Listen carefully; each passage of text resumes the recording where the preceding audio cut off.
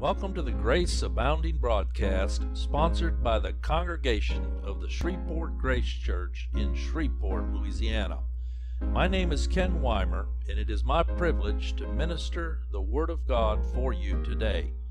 May the Lord Jesus Christ be praised and exalted through the message preached, and may He, by His Spirit of grace, grant ears to hear to each one He came to save and ransomed by his shed blood on the cross. Let's turn to James chapter 5. James chapter 5.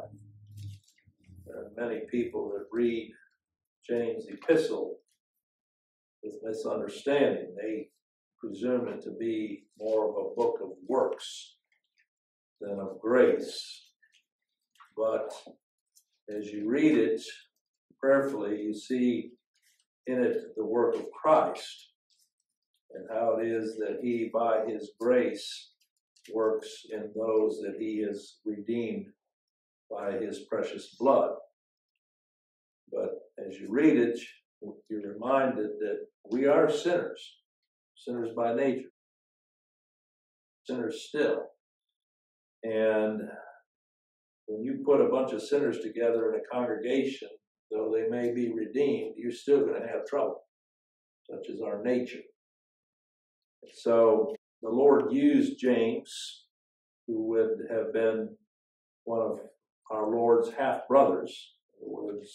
He, of course, was born of a virgin, but one of the siblings who initially, as you read in the Gospels, did not believe on Christ. And it takes the same work of grace to save James as it does anybody else as a sinner.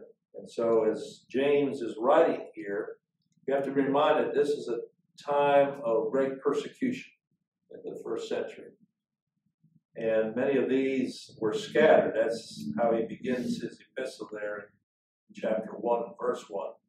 James, a servant of God and of the Lord Jesus Christ. He did not take any pride in being of that family in which Christ was raised as a half brother. He calls himself a servant of the Lord Jesus Christ.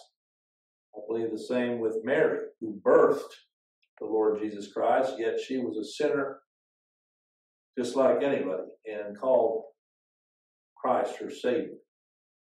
So here he writes this to the 12 tribes that are scattered abroad and he says greeting. So it was written primarily to Jewish believers that were scattered abroad by the persecution there in Jerusalem. That God purposed that these should be settled throughout the then known world. And so James is writing to them about things that we all face in this life as the Lord's people we live in this world, but we're not of it. And because we're in this flesh, we can expect conflict, not only with the world, but even amongst ourselves. And that shows us all the more why we need the grace of God, why we need his blood shed. But here in James 5, he's addressing primarily those that were persecuting the believers as they were scattered throughout the world. And so when he writes in chapter 5, go to now, ye rich men. These would be like the religious Pharisees of the day that thought themselves to be blessed above others simply because they were men of wealth and used their positions to gain greater wealth compare it perhaps to preachers and pastors in our day that use their position to prey on the people and increase their wealth. If you go out just on the internet, do a search and look at some of these popular preachers' incomes and salaries and what their net worth is, it's just unbelievable. Where did they gain that wealth? Well, it was from the hands of people for whom they preach and preside. And so here's a warning that James gives to such men. He says, Weep and howl for your miseries that shall come upon you. You know, this would have been written just prior to Jerusalem being destroyed. God bringing the Roman army and completely wiping out Jerusalem and the temple.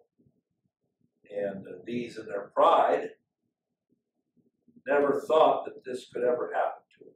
And yet, storm clouds were building even at this point when James was writing. Because James remained in Jerusalem, even though these were scattered. He was the primary pastor there for the church in Jerusalem at this time.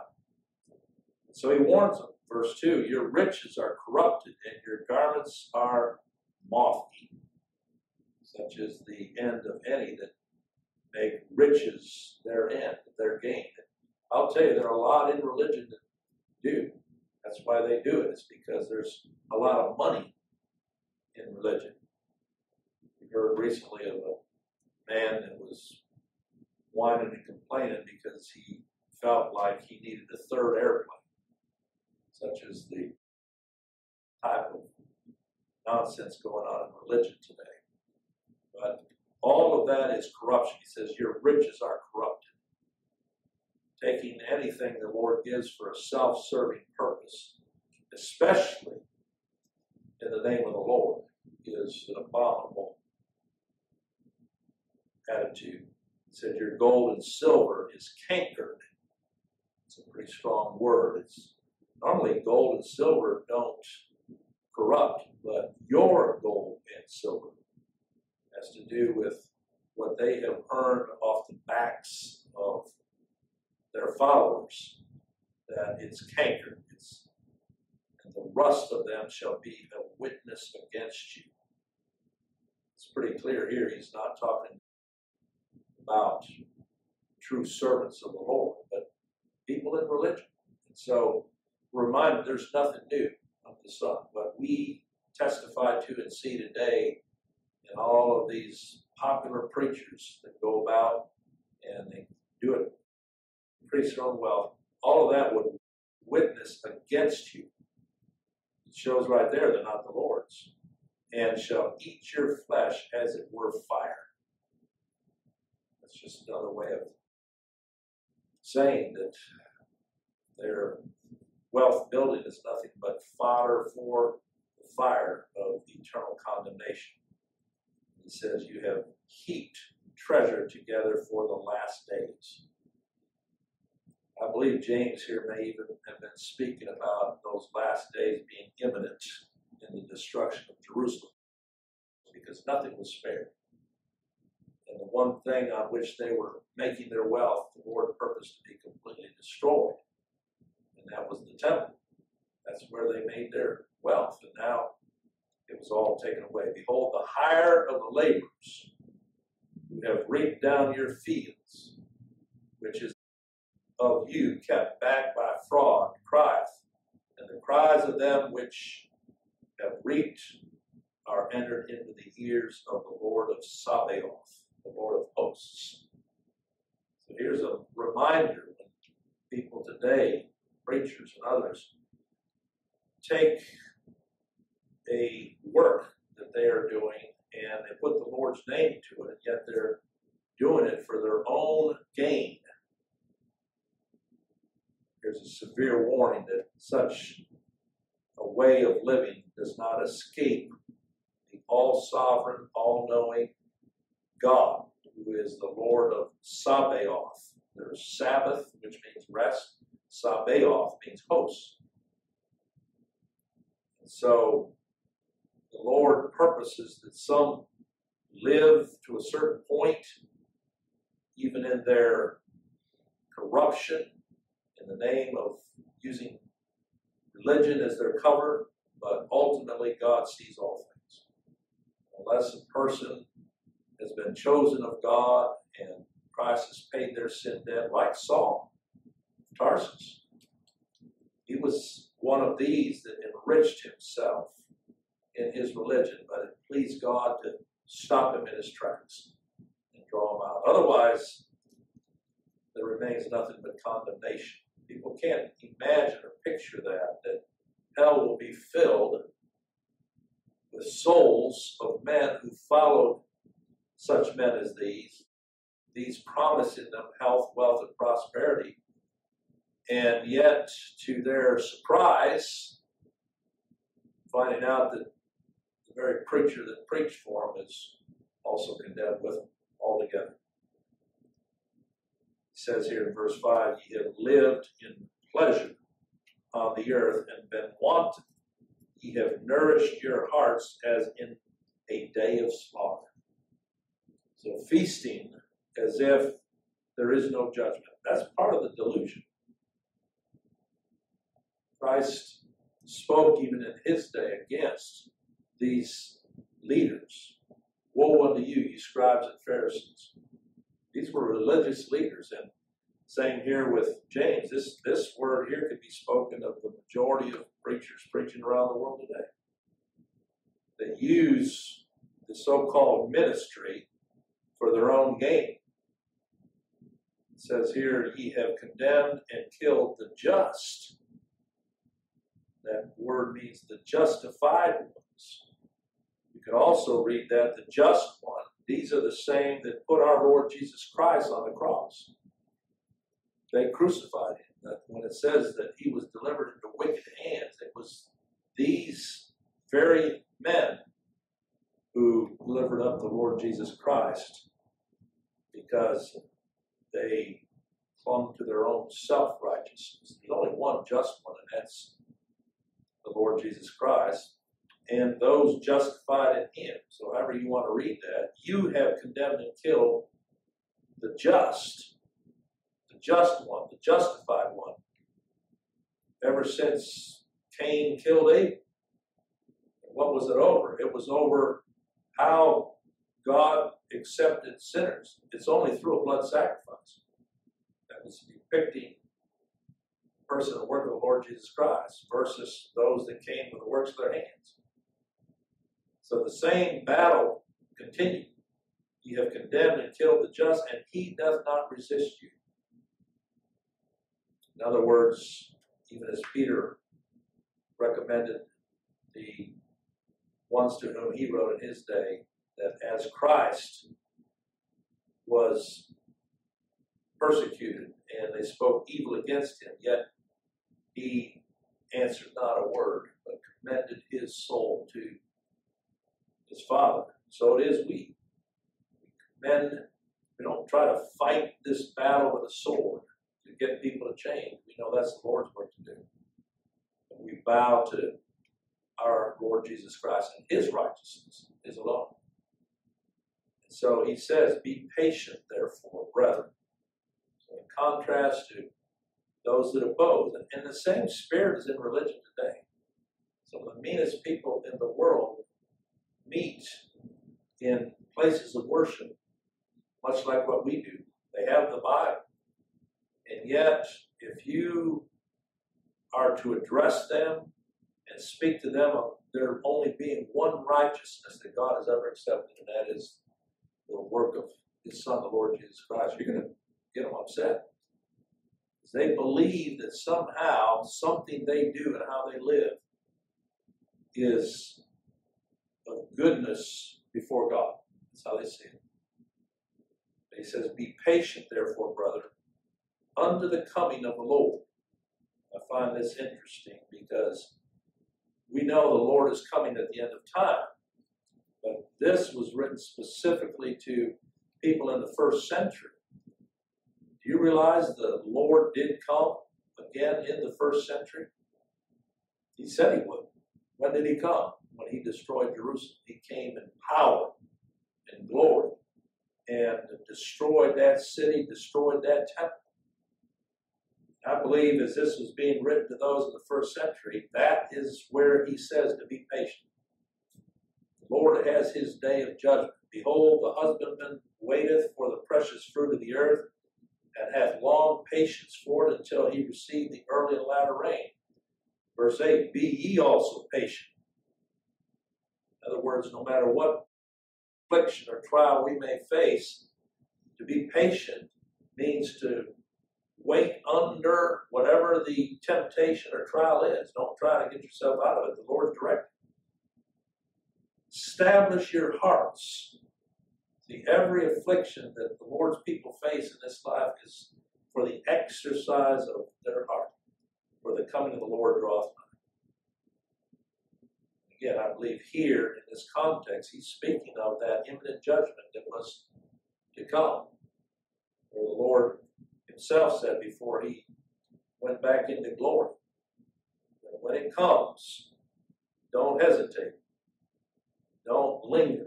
It's like with Lot there in Sodom and Gomorrah. The angel of mercy had to come and take him literally out of the city. Don't turn back. All of that in Matthew 24 actually was fulfilled when the Lord caused the Roman government, Titus, to come in and destroy the city. They couldn't believe it.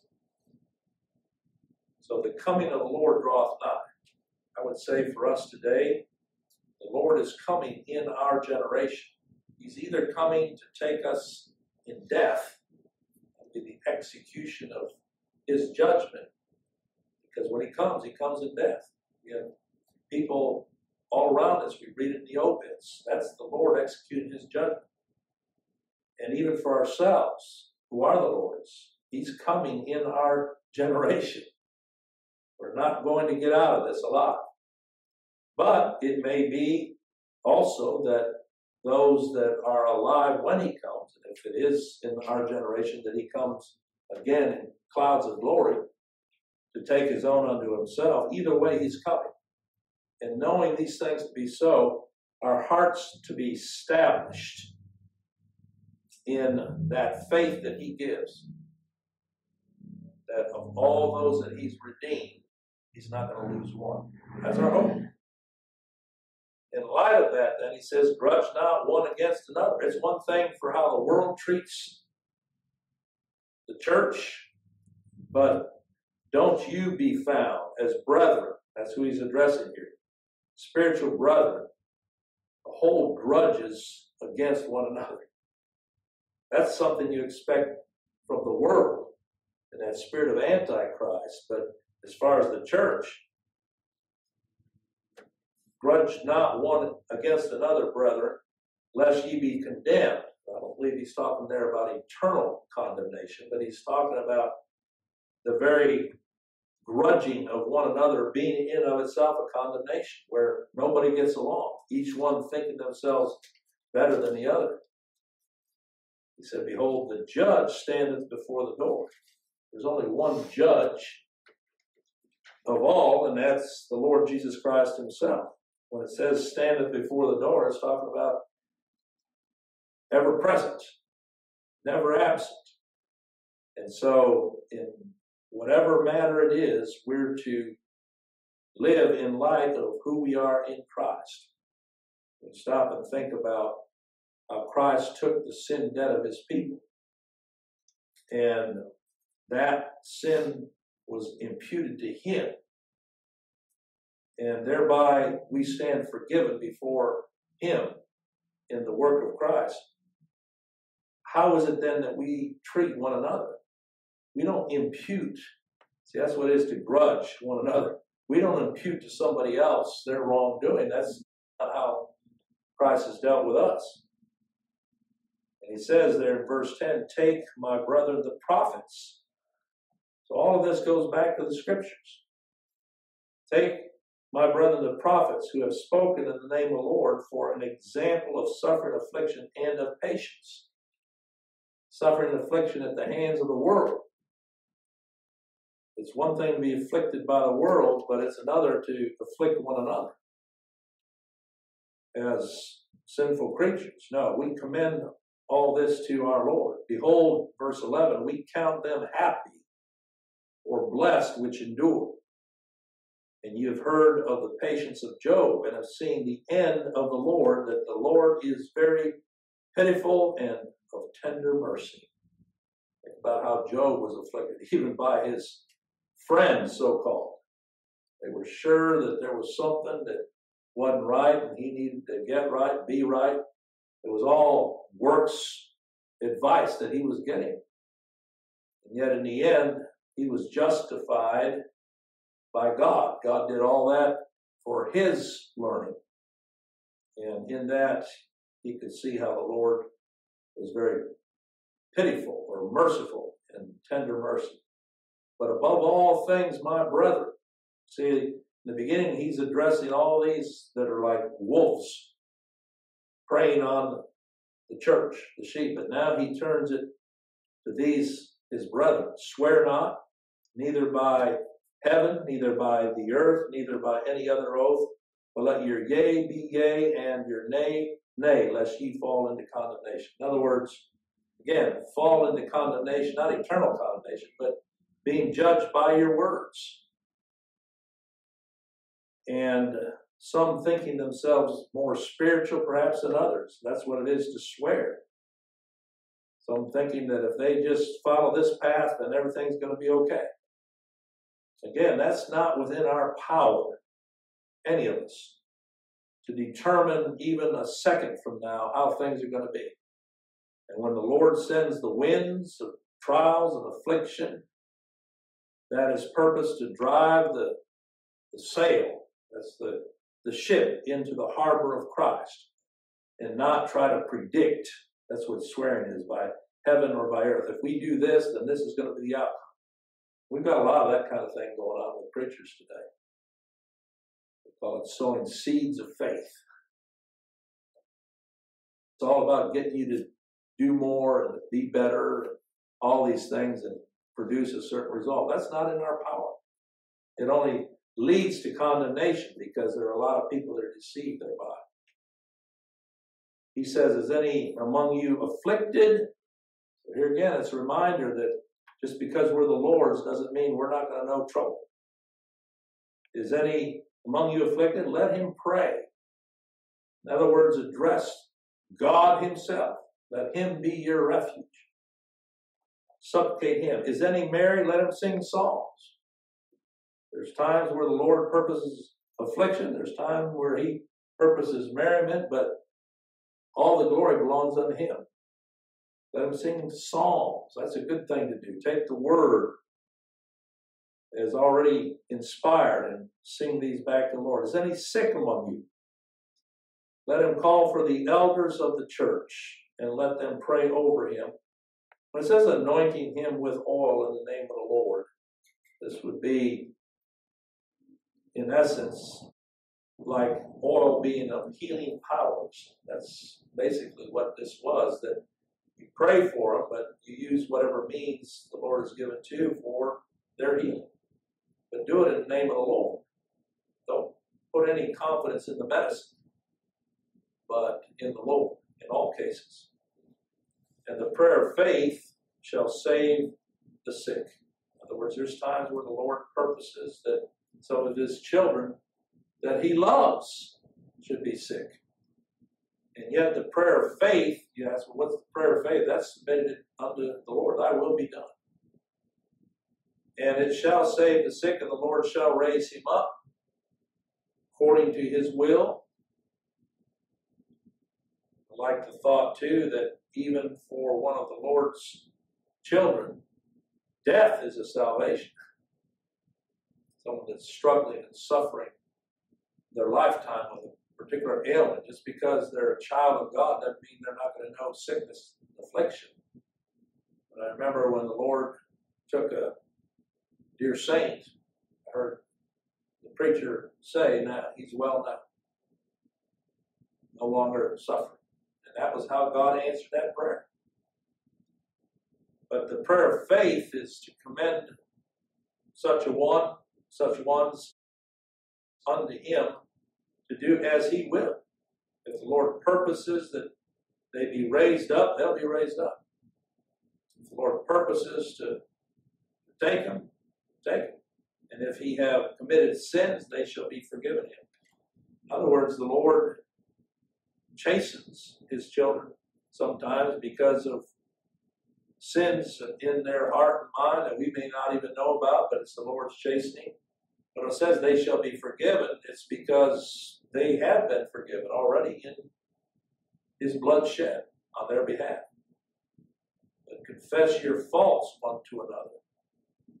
I believe that means confess to one another that you are equally sinners. We're not to think ourselves higher than anybody else. Confess your faults one another and pray one for another that ye may be healed. It says, The effectual, fervent prayer of a righteous man availeth much. Read that as being a justified man who's not righteous in themselves. And it's the Spirit of God that gives the prayer. Without the Spirit, we don't know how to pray as we ought. This is the Lord directing through his people, but also, more importantly, the effectual, fervent prayer of the righteous man. That would be the Lord Jesus Christ himself. Avails much in that God always hears his prayer. We never need to doubt. we pray according to the will of the Father in the name of the Lord Jesus Christ, we're commending that situation to him in all things He gives us an example here of Elijah. Elijah was a man subject to like passions as we are. And he prayed earnestly that it might not rain. It rained not on the earth by the space of three years and six months. And he prayed again, and the heaven gave rain, and the earth brought forth her fruit. I believe Elijah was a type of the Lord Jesus Christ. Man subject to like passions as we are. He was made like us. He was tempted in all things like us, yet without sin. There's a difference. But the Lord accomplished his purpose through him, and so he does through his Son today. That's why we commend all things to him. So he concludes, Brethren, if any of you do err from the truth, and one convert him. See, conversion is not just a one time thing. Because I read this and I think, my heart is constantly bent toward error. And the Lord will use one of his messengers, or it might be even one of his people, to speak truth to my heart and my heart converted once again to him. That's an ongoing thing. That's why we're meeting here. We need to hear a word from the Lord let him know that he which converteth the sinner from the error of his way shall save a soul from death and shall hide a multitude of sins.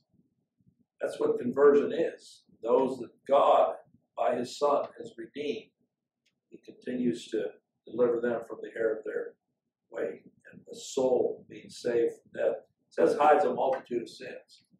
How does it hide it?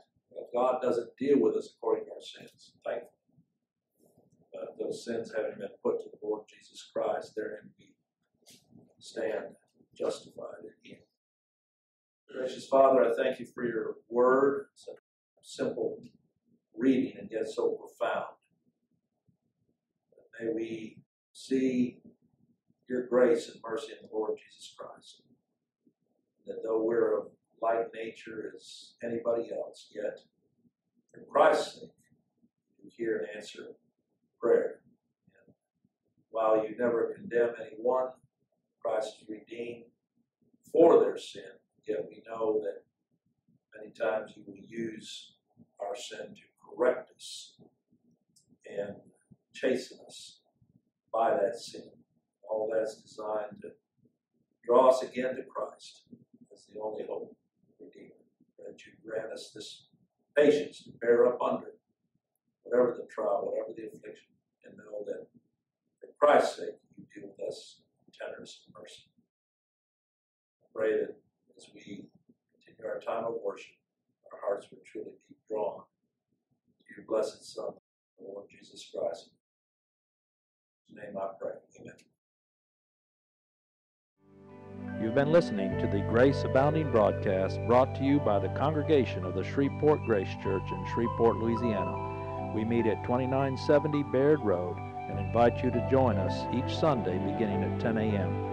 For more information, please visit our website at www.shrevegrace.org or call 318 687 4943. Please plan to join us again next week.